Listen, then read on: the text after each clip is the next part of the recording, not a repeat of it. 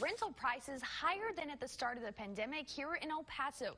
According to an analysis done by Stessa, in March of 2020, the median cost of rent was $1,094 per month, and a year later, rent in El Paso had increased to $1,169. Now, that is a 6.9% increase in rental prices.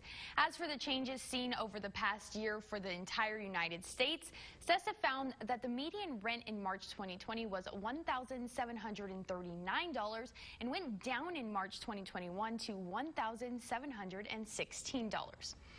Meanwhile, the El Paso City Council